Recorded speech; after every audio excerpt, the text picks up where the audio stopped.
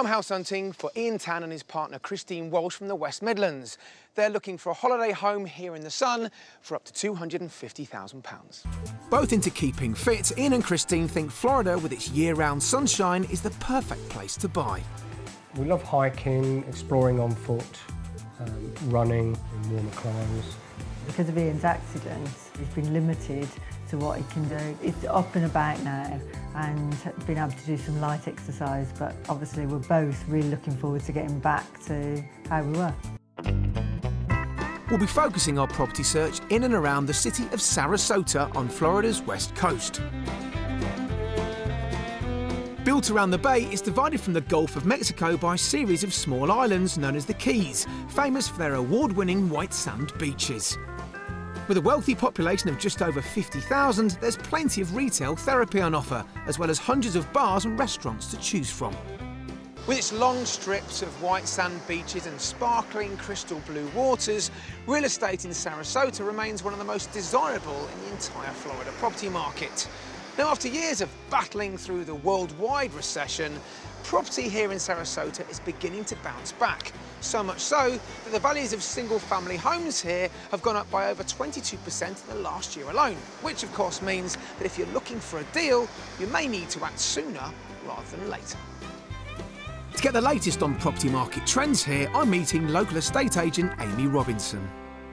In 2007, 2008, and 2009, we definitely were affected with, you know, the U.S. economy, the catastrophe in the banking industry. In 2008, 2009, there were over 3 million foreclosure cases filed. Wow. Sarasota and Florida in general, we were hit first. So we kind of led, unfortunately, the downturn. But as a result of that, we also were first to come out of the downturn. So in 2010, we really started to see a market recovery. 2012, 2013 have been record years. Last year I did over 15 million in sales, and this year I'll surpass that. The market here in Sarasota, it's clear it's bottomed out.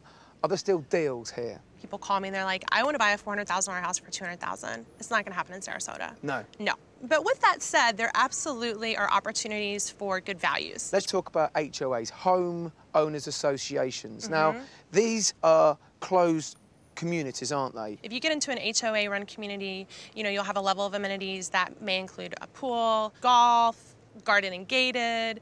And then also, you know, there are restrictions that require a homeowner to maintain their property to a certain level. You want to be sure if you're buying into an HOA community that the HOA restrictions do not prevent you from renting because many HOAs will not allow rentals. So welcome both of you to a very sunny Sarasota. It's gorgeous here, isn't it? It, isn't it beautiful? You love Florida. You've come here on holidays, I take it. Yeah. What's made you take the next step? Why have you decided to buy a house here? I was uh, involved in, a, in a quite a serious hit and run where I sustained quite serious and potentially life-threatening injuries and recovering from that.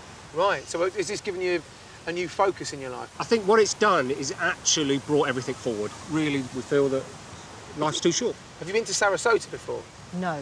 No.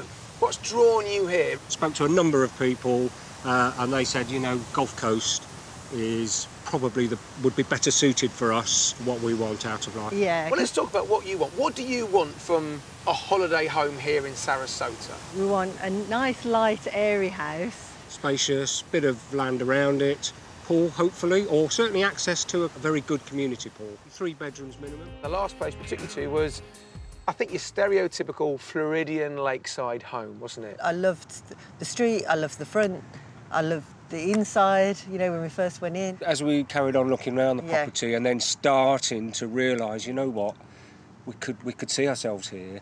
It's at that point then you look at it and you think, well, is this going to work for us? How can we change this? How can we do that? How we could do something to that property to allow Christine's mum to stay in that property but still maintain a degree of independence. Okay.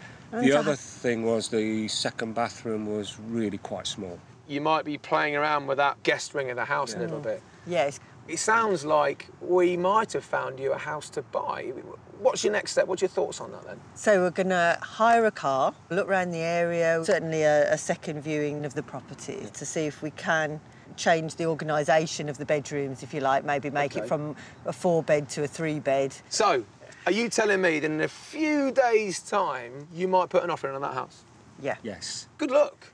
Thank Get all your I's dotted and your T's crossed, and then hopefully, well, you'll be back here, well, in a few months' time to enjoy your own house in Florida. Sounds pretty good, doesn't it? Perfect. In the end, Ian and Christine decided not to make an offer as they felt the property needed too much doing to it. But they've fallen in love with Sarasota and they're keen to find their dream house before the prices go up any further. They've already booked their tickets to return and continue their search.